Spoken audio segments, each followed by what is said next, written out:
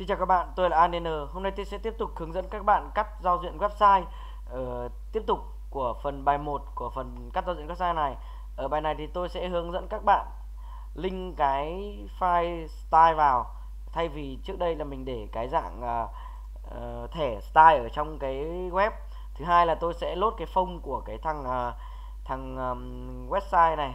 Cái phần thiết kế thì thường thường là họ dùng cái phông riêng của từ website. Thì cái này thì mình phải sử dụng đúng cái phông đấy. Thì um, ở đây tôi sẽ hướng dẫn cho các bạn xem. Ví dụ cái file Photoshop này tôi mở lên như này đấy. Thì ở đây nó có cái uh, kích vào cái chữ T này này đấy. Ví dụ đang ở chỗ khác thì các bạn kích chữ T này kích vào đây. Đấy nếu mà giả dụ như kiểu nó báo này nó báo cái phông này chưa tồn tại này đấy các bạn nhìn nhá nó báo cái trạng thái phông là ờ, uh, chứ sẽ không không không uh, có này đấy. Thì bạn có thể đao cái phông này về đấy, ở đây thì tôi đào sẵn cái phông này về rồi. Đây đây, phông đây nhá. Bây giờ tôi phải tắt cái photoshop này đi. Rồi, tôi mới copy cái phông này. Tôi đưa vào thư mục đây c windows phông nhá. Đấy, ok. Xong rồi bạn là chỉ cần paste vào đây là được. Đấy, copy space vào đây được. Nó sẽ cài cái phông này vào. Đó, xong rồi. Bên các mở, các bạn mở lại file photoshop bây giờ được để mở lại nhá.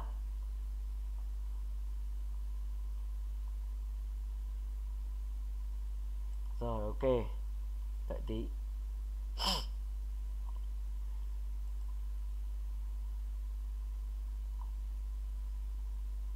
Rồi.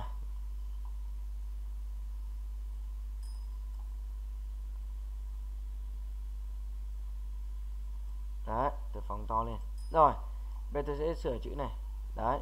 Bây giờ nó có phông rồi thì nó báo là cái khả năng là cái text này sẽ thay đổi. Ok không vấn đề gì cả. Miễn là nó có phông là được. Đấy nó đọc được phông rồi. Đấy rồi.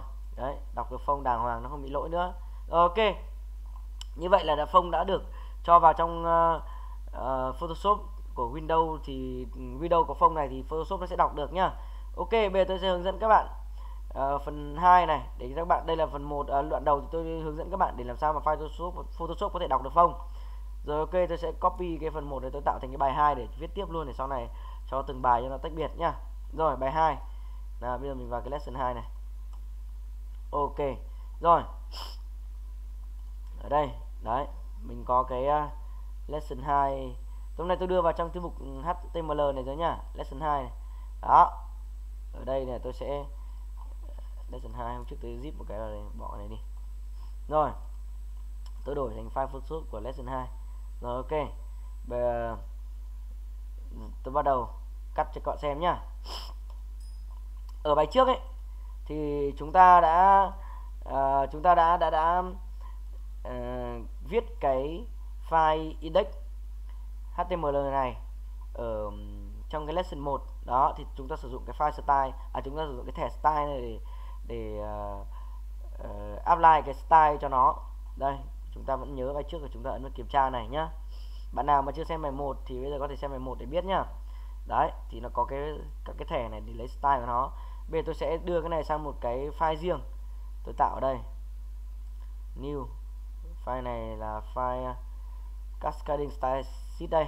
Ok. Chính là file css đấy nó viết tắt của cái chữ này nhá.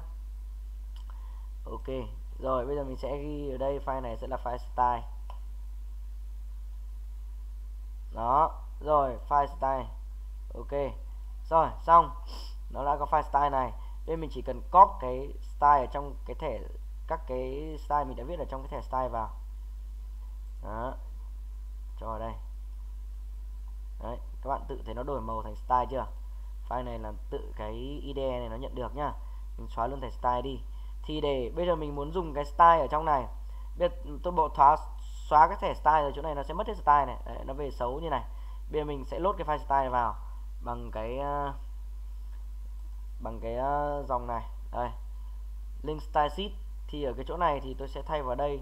Nó sẽ sẽ là style.css nhá. Đấy các bạn nhìn xem. Đó, test xem nào. Đấy nó lên rồi. Các bạn nhá các bạn còn có thể muốn nhìn lại thì các bạn có thể và ấn vào cái chỗ mà xem nguồn trang này nhá. Các bạn sẽ thấy này. Đấy nó lốt cái file style ở đây này. Click vào đây thì nó ra file đấy. Đấy các bạn thấy chưa? Ok. Như vậy là nó sẽ sẽ sẽ load cái file style rồi. Nó như bình thường. Các bạn thấy nó bây giờ thì nó sẽ hiện ở đây. Chỗ này nó là load từ file style.css chưa? Đấy được chưa? Đấy thì đơn giản đầu tiên là nó sẽ như thế là mình đã được một cái để mình có thể thể thể thể, thể uh, chạy cái style này riêng ra mình viết riêng ra bên này nữa mình sẽ không cái file index này nó sẽ ngắn gọn đi. Đấy nó chỉ toàn html thôi còn file css mình sẽ viết sang đây. Đấy đơn giản hơn. Đấy bạn thấy không rồi ok. Bây giờ tôi thử sửa file style xem nhá. Tôi đổi cái background đoạn này xem nào. Đây đây đang là màu trắng đúng không? Tôi đổi background thành à, màu uh, uh, tôi đổi màu gì chưa màu vàng nhá. Đấy các bạn nhìn màu vàng nhá. Để tôi copy này vào trong cái thằng file style này. Nó tương tự như là cái uh, cái hôm nọ thôi, tương tự như là cái thẻ style thôi. Đây head menu. Head menu. Dòng bao nhiêu đây? Dòng 61 các bạn nhá. Đây nó có ghi dòng luôn 61 đây, chuẩn luôn. Đấy, các bạn thấy chưa? Nó có một lợi thế là nó ghi dòng luôn. Mình có thể biết được dòng của cái file luôn, sửa luôn rất nhanh. Bây tôi năm lại này. Đấy, vẫn là màu vàng nhá. Bây tôi bỏ màu vàng đi này. Đây, dòng 61 này bỏ màu vàng đi. Đó, các bạn thấy chưa? Rồi, ok, như vậy là cái file style này chạy hoàn chỉnh rồi bây giờ tôi sẽ hướng dẫn các bạn làm sao mà để có thể lốt cái phông mà ở trong cái Photoshop này họ dùng mà đưa lên thành phông web nhá. Ok bây giờ mình sẽ à, phải convert cái phông này sang dạng phông web đã. Đây mình sẽ dùng cái trang này. À, phông to web đây. Đấy. Bạn upload cái phông lên nhá. Phông ở đây. Đây phông vừa đào về này. Rồi, xong tôi ấn vào convert này. Rất nhiều trang convert online này, thì mình chỉ cần convert một cái là nó sẽ chạy về. Đấy, nó cho tôi đào về rồi này. Đấy, tôi đưa nó ra ngoài desktop cho nó dễ nhìn. Đấy.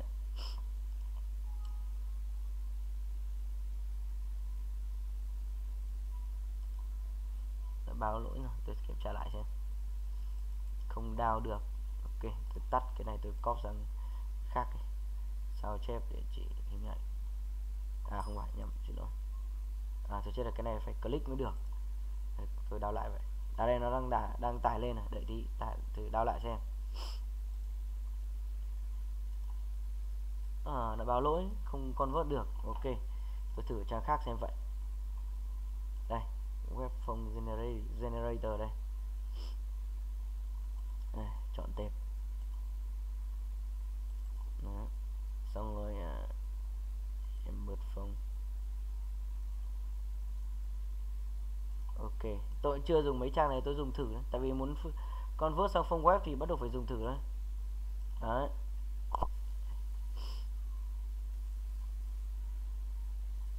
Thì các bạn tôi hướng dẫn để các bạn biết làm cái ờ, đổi cái phông web này luôn. Thì sau các bạn có web ờ, có cái phông đặc biệt mà ở trên ờ, Windows của các bạn đang dùng ấy thì các bạn mới có thể để, để để để dùng được cái phông mới này ok download cái package này về.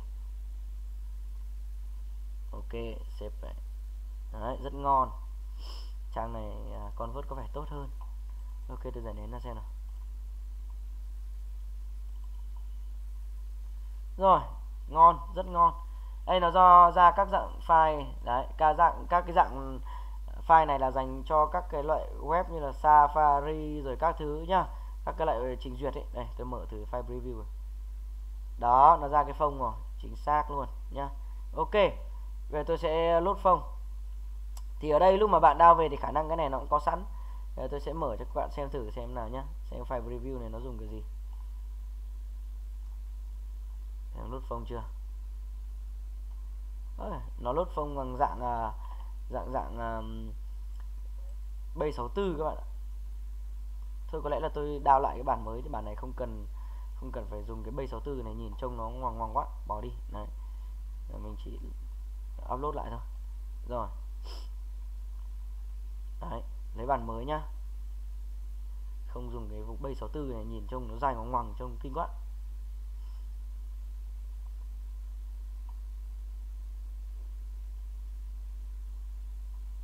Ừ, Download cái backkit để về. Ok. Rồi ok. Rồi chạy ra xem nào.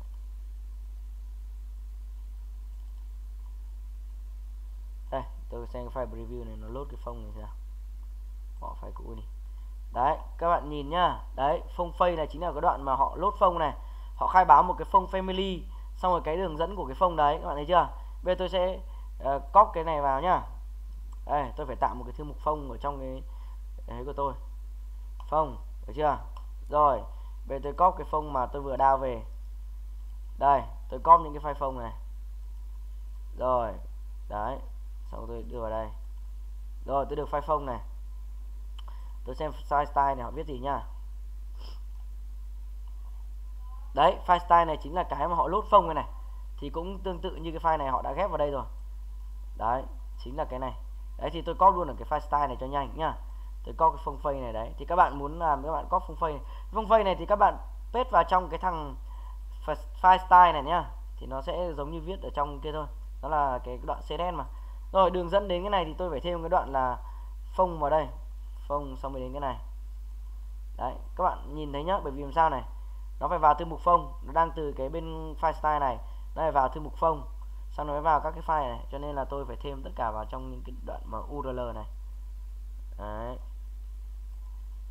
đây đây đây ok. Rồi bây giờ tôi sẽ khai báo cái phông này.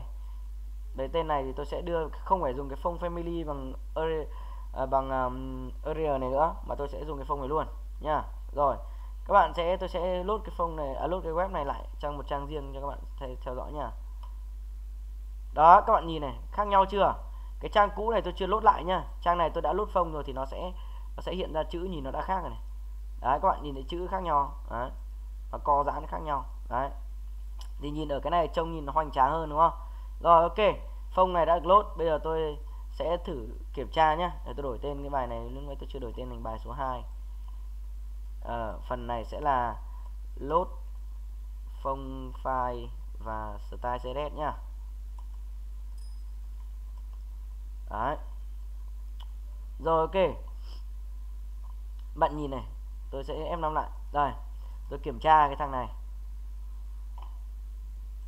Đấy các bạn thấy nhá ví dụ thằng này này nó sẽ được cái thằng nó sẽ được cái um, thẻ body này nó có cái phông family rồi đây. Đấy các bạn thấy chưa?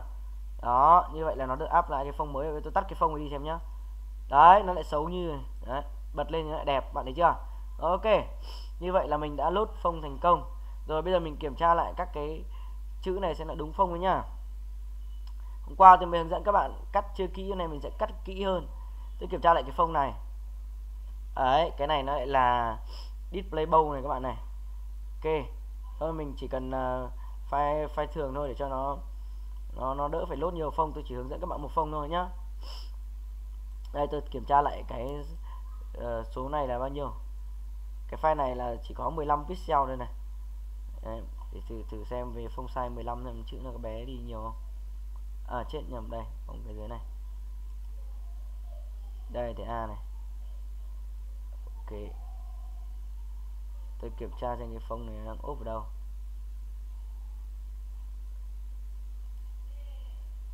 Đây, thẻ A này. Chưa có phông sai đúng không? Tôi test, tôi cho phông này. 15 pixel. Đó, rồi.